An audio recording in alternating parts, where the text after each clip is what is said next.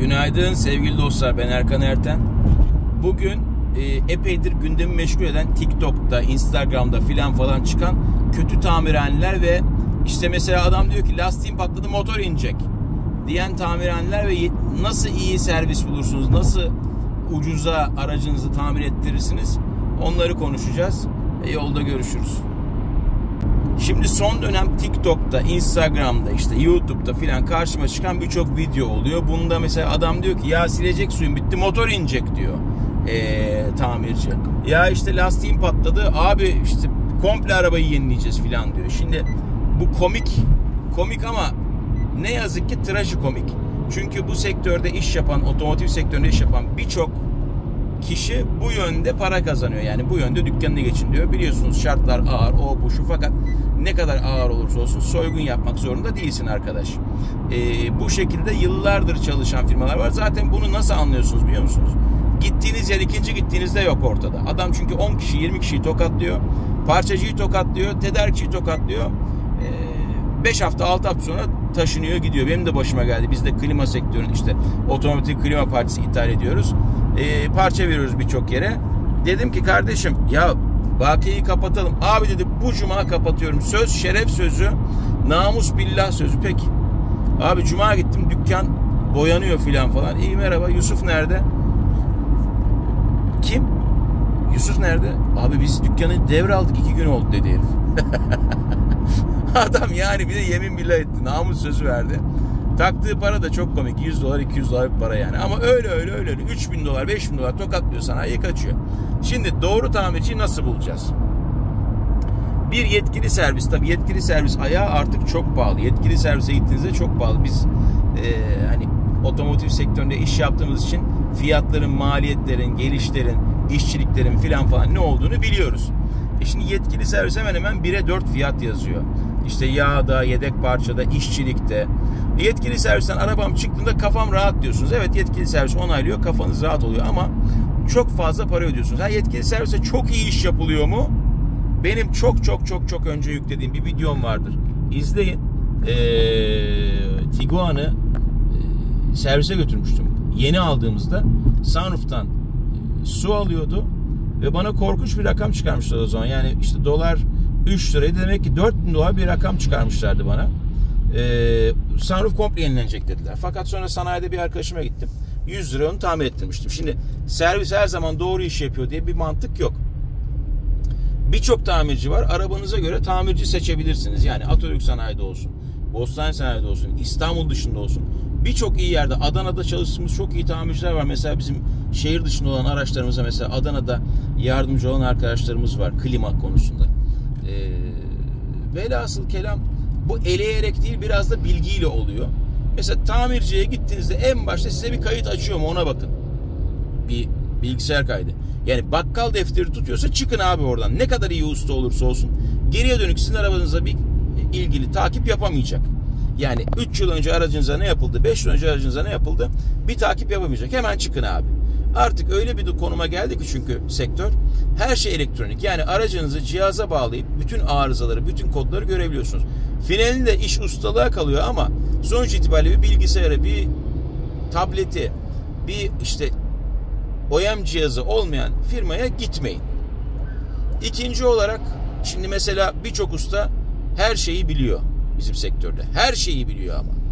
Yani işte kaportayı biliyor, boyayı biliyor, klimayı biliyor, elektroniği biliyor. Esasına bakarsanız yıkamadan gelmiş filan falan. Oto yıkamadan gelmiş. E şimdi bu tür ustalara dikkat edin. Gittiğiniz yerde bir de siz presentable bir karşılama oluyor mu? Ona bakın. Çünkü iyi bir tamirhane önce müşterisini rahat ettirir. İşte dinlenme salonu olur. Teknik ekibi olur. Teknikerleri olur, mekanikerleri olur, işte boyacısı olur, kaportacısı olur. İşinin ehli adamlar olur. İşinin ehli olmasa bile ortalama ustalar olur. E bunlara dikkat etmeniz gerekiyor. Mesela şunu yapmayın. Ee, ya o parçanın şurada ucuzunu buldum. Burada daha ucuzu var. Yani iridium bir tane bujiyi bugün 100 liraya satıyorlarsa onu almayın. Aa bu ucuzunu buldum internette. Almayın. Abi hava filtresi 300 lira atıyorum. E ben 70 liraya buldum alma. Çünkü hava filtresi var, hava filtresi var. Bazı filtreler e, hacmi yoğun olmadığı için, kağıdı dandik olduğu için filtrenin içine çekiyor. Daha büyük sorun açarsınız. Yedek parça işinde de birçok yedek parçacı var.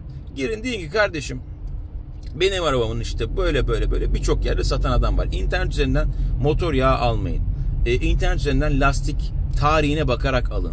Çünkü şimdi internette çok farklı fiyatlar var. Çok iyi fiyatlar var. Lastik bir geliyor 2024 senesindeyiz. 2022'nin lastiği geliyor. Diyorsun ki aa piyasadan 5000 lira ucuza aldım. Lan zaten 2 yıl ömrü kalmış lastiğin. Kurumuş o lastik yani. Lastiğin raf ömrü 4 yıldır. Ya da 50 bin kilometrededir. 50 bin kilometredir. E şimdi sen o lastiğin kauçuğu kaçmış lastiği 1000 liraya da alırsın. Bu tür konularda dikkat edin.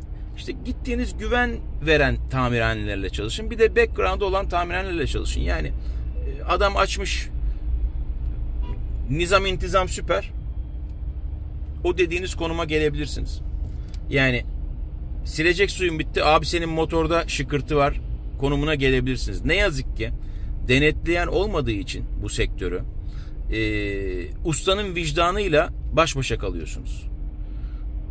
Bu şekilde birçok arkadaşımın, birçok tanıdığımın, birçok e, duyduğum hikaye oldu. Bu yüzden biraz daha dikkatli davranıp tamirhanenizi ona göre seçin. İşte tamircinizi ona göre seçin. Bu iş bir de artık şeyle yürüyen bir iş. Eee fısıltı gazetesi derler. Fısıltı gazetesi mi? Fısıltı gazetesi. Ya şurada bir usta var abi arabayı bir boyadı. Cillop gibi oldu. E şimdi böyle yürüyen bir işte işiniz çözülür. Eski ustalar kalmadı tabii. Eski usta şimdi eline tornavida alan usta oldu. Eski ustalar kalmadı. Ama eski ustaların bıraktığı ustalar var. Onlara gidebilirsiniz. Bir bir tamirhane sayamam. Çünkü şimdi yanlı olur bu söyleyeceğim. Benim çalıştığım işte ben araçlarımı çalıştım. Kendi mekanik servisim var. Onun harici boyahane kendime ait. Kaporta kendime ait. Yedek parçanın çoğunu kendim getiriyorum filan falan. Onun harici işte elektronikçi, o bu şu yıkamacı. Bunlar hep çalıştığım insanlar vardır. Bunlarla çalışırım. Mesela yağ değişimine gittiniz. Yağ değişiminde bazı araçların yağları farklıdır. İşte mesela fabrikanın önerdiği yağ bile bazen tutmayabiliyor. Mesela Fiat Selenya yağ önerirdi. Şimdi hala öyle mi bilmiyorum. Ee, Selenya köpük yapardı mesela o linyalar zamanı filan falan. Hiç kullanmadım Fiat araçlarımıza. Hiç kullanmadık. Genelde mobil bir yağ kullanıyoruz. Bu işin kralıdır mobil bir. Her motor çeşidine göre yağ var. Castrol iyidir. Onun harici mesela Enois diye bir yağ vardır. Japon yağı. Bu da işte performans yağıdır. Ee, Lukoil ile ilgili bir hikayem var.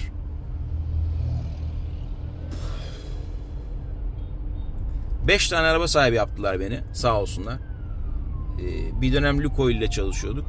Neyse çok uzun hikaye. Onu ayrı bir zaman anlatırım. Hatta yetkilileri geldi, Türkiye yetkilisi geldi filan falan numune aldılar. O bu şu dediler ki evet bizim yağ kaynaklı bir sorun var. Yağ arabaya koyuyorsunuz reçel gibi oluyor. Ulan çeşmeden dönüyorum araba lamba yakıyor.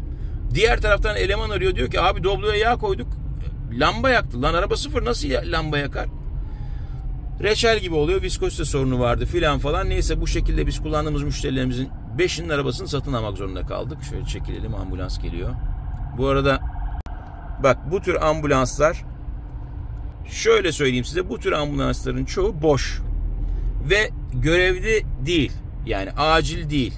Bu tür ambulansların çoğuna geçen de polis e, çevirme yaptı ve çoğuna ceza yazdı. Görev harici, acil durum harici e, lamba açan ambulans da olabilir, çakarlı araba da olabilir. Tabi biz insanlık görevi olarak yol veriyoruz. Çakarlı arabalara çok fazla yol vermiyorum. Eğer görev kağıdı yoksa. Yani bir çakarlı arabayı çevirip diyebilirsiniz. Kardeşim görev kağıdını göster. Var mı görev kağıdın? Yok. Vermiyorum yol diyebilirsiniz. E tabi burası Türkiye. Burada ne kadar geçerli çok Amerikan vari oldu bu söylem ama ambulansların çoğunda da mesela hiçbir şey taşımıyor fakat böyle terörize ederek yolu kendine yol açıyor. İşte burada da polis polis güçlerine iş düşüyor. İşte geçenlerde bir şey yaptılar. E, kontrol yaptılar. Birçoğuna da ceza kestiler. Neyse konumuz değişti. Dönelim. Mesela gidiyorsunuz yağ değişeceksiniz. Diyor ki adam ya abi yağ değişeceğiz ama diyor. Bir de teflon atalım. Şey katkı atalım. Motor katkısı. Şimdi motor katkısı dediğiniz şey yağın viskozitesini bozar. Teflon içerikli bir şeydir. Bazı yağlarda işe yarar, bazı yağlarda yaramaz. Ama genelde yaramaz benim kanımca. Çünkü bunu üreten firma diyor ki kardeşim Mercedes CL 200'e bizim mobil bilmem ne bilmem ne bilmem neli yağ koy diyor. Koyuyorsun adam zaten ona göre bir katkı bak bir tane daha ambulans geliyor. Velhasıl kelam adam ona göre katkısını falan koyuyor. Sen bunun içine bir tane daha katkı koyarsan bu yağın viskozitesi bozuluyor. E ne oluyor? Sürtünme artıyor ya da sürtünme özelliği bozuluyor. Motor yanıyor. Bak hadi bakalım bizi sıkıştıracak bu da. Bak bir de ambulansın arkasına takılanlar var. Bunlar daha çok tedaviye cevap vermeyenler bunlar. Neyse bir tanesi mobil satış danışmanı anlatmıştı. Bak kapattı alarmını. Çünkü ileride çevirme var. Demek ki boş. Şimdi şurayı dönünce e, Harp Akademilerin orada çevirme var. Demek ki boş. Bak buraya kadar terörize etti. Plakası çıkmıştır inşallah. Buraya kadar terörize etti. Şimdi bak ışığını kapattı. Alarmını kapattı. Gidiyor herif. Çünkü şurada çevirme var. Polis durdurup diyecek kardeşim hasta nerede? Yok. Acile mi gidiyorsun? Yok. Kayıt da yok. Tamam ceza diyecek. Enteresan bir ülkeyiz ya. Böyle bir hikaye var benim. Üf, aman bu da anekdotlarla dolu bir video oldu. Dönemin işte ha bak bak bak de polis çevirmesi var. Kapattı. Zamanında İl Kültür Müdürlüğü'nün işlerini yapıyoruz. İl Kültür Müdürlüğü'nün araçlarında da çakar var. İşte dıt dıt dıt dıt dıt dıt dıt dıt dıt filan ses yapan şey var. Ee, siren var. Temizlik işlerine görevli bir tane arkadaş da arabayı alıyor. Eve gidecek. Dıt dıt dıt dıt dıt dıt dıt dıt yapa yapa soldan arıza şeridinden bastıra bastıra gidiyor. Bir tane Toyota mı ne bir arabaya dıt dıt dıt dıt yapıyor. Araba kaçıyor kenara. Bu, bu gazlıyor, gazlıyor geçiyor. Araba ileride önünü kesiyor. Bu dıt dıt dıt dıt dıt dıt. Arabadan biniyorlar abi. İstanbul Emniyet Müdürü Celalettin Cerrah. Adam diyor ki nereye gidiyorsun? Ee, hıkmık. Sen nerede çalışıyorsun? Şurada. Ne yapıyorsun? İşte temizlikçiyim. Ulan temizliğe mi yetişeceksin diyor filan falan. Adamın adı dıt dıt kalmıştı. Müthiş bir anekdottur bu. Velhasıl kelam e, bu tür dıt dıt dıt dıt çakarlı çoğu araba esasında fos. E, hadi yol vermesen başın derde girer mi? Acilet durumu var mı? Burası Türkiye. Her an her şey olabilir. Yani o yüzden işte olabildiğince yol vermeye çalışın. Ambulansa verin tabii insani bir görevdir. Ama işte bak ambulans şimdi yol verdim ben de. Kapattı çünkü ileride polis var ceza kesecek diye kapattı ışığını, sirenini devam etti hayatına. Ya konu nereden nereye geldi? Ne anlatıyordum? Ee, adamın biri gidiyor Carrefour'dan mobil yağ alıyor. Mobile mail atıyor. Diyor ki ben sizin yağınızı kullandım. Motorum yandı. Lan nasıl olur? Bizim önerdiğimiz yağ bu. Evet. Adam diyor ki ben gittim kardeşim Carrefour'da yağınız satılıyordu. Yağınızı aldım gittim tamirciye değiştirdim. Neyse mobil sağ elemanını gönderiyor. Diyor ki kardeşim bir konuş bakalım bu eleman ne yapmış? Gidiyorlar tamirciye. Tamirci diyor kardeşim tamam araba Jaguar. Jaguar X, X Type. Yağı değiştirdim. E, artı bir de şey attım. E, motor katkısı. E niye attın? E ulan yağ değişiminden 50 lira alıyorum. Motor katkısından 150 lira kazanıyorum. Herhalde motor katkısı atacağım diyor herif. Neyse öyle böyle suçlu tamirci. Ama mobil diyor ki kardeşim biz müşterimize bunu anlatmadığımız için kurumsal firma böyle olur. Biz müşterimize bunu anlatmadığımız için ve müşterimiz de bu bilinçte olmadığı için gidip raftan yağımızı alıp tamirciye gittiği için suç bizde diyor ve adama yeni motor verdiler. Ee, yani Jaguar'ın motorunu mobil karşıladı. Çünkü dedi ki suç bizde kardeşim. Tabi o zamanlar Türkiye'de yargı, adalet, mahkemeler bu kadar uzun sürmüyordu. İki adam mahkemeye gitse büyük ihtimal yine mobil işin içinden çıkardı ama e, etik olarak adam motorunu verdiler. Yani diyeceğim o ki bilmediğiniz, etmediğiniz, ucuza gelecek dediğiniz şeyleri alıp arabanıza koymayın. Valla bu YouTube işini çok seviyorum. Niye biliyor musunuz? Trafikte anlatıyorsun böyle deli gibi kendi kendine bir şeyleri anlatıyorsun. Yol bitiyor. Benim çok işime geliyor yani. Trafikten tiksinen bir herifim ben. Ee, böyle yol bitiyor ya. Acayip rahat. Hele İzmir yolunda. Tek başımaysam harika oluyor. Ufak ufak videolara başlayacağım. Bunun harici bir de biliyorsunuz ben bir kitap yazdım Agartha Tünelleri diye. Onun peşinde koşturduk filan falan. Bir ara dizi olacaktı, film olacaktı filan falan. Bir de benim böyle şimdi diğer kitabı yazıyorum filan falan. Vakit ayırmak zor YouTube videolarına. İşte fırsat buluşta da böyle çekiyorum ve kafa dinliyorum işte. Trafik çekmiyoruz işte. Sizle dertleşiyoruz. Bu arada benim e, mail adresim erkanerten et ertenmekanik.com Bana bu adresten ulaşabilirsiniz. Kafanızda olan soruları sorabilirsiniz. Arabayla ilgili bir şey sorabilirsiniz. Eee Gelip çay içebilirsiniz bizim dükkanda. Kahve içebilirsiniz. Öğle yemeklerimiz çok güzeldir. Yemek yiyebilirsiniz. Velhasıl kelam e, elimden geldiğince burada zaten bir community, bir birliktelik olduk gibi. Ondan dolayı da paylaşımlar yapıyorum. Siz de beni sağ olun izliyorsunuz. E, bir birliktelik oluşturduk. Kafanızda oluşan sorular, bir şeye ihtiyacınız olursa, yedek parça ihtiyacınızda mesela derim ki kardeşim git bak şuradan al şu parçayı. Volkswagen yedek parçada mesela birçok yer vardır. İyileri vardır. E, gidin oradan alın kardeşim derim. Mesela yönlendirebilirim. Amerikan yedek parçada birçok kere yazdım işte Chrysler'in parçalarını aldığım firmaları. Mercedes yedek parçada ona keza. E çalıştığım benim birkaç yer var. Onlarla sizi tanıştırırım. E, garantili olarak parçanızı alırsınız. İşçiliği garanti yaptıracağınız yerleri paylaşırız. E gelip çayımızı içersiniz, tanışırız. E bir sonraki videoda görüşmek üzere. Kendinize iyi bakın. Abone olup beğenmeyi de unutmayın. Sevgiler, saygılar. Görüşmek üzere.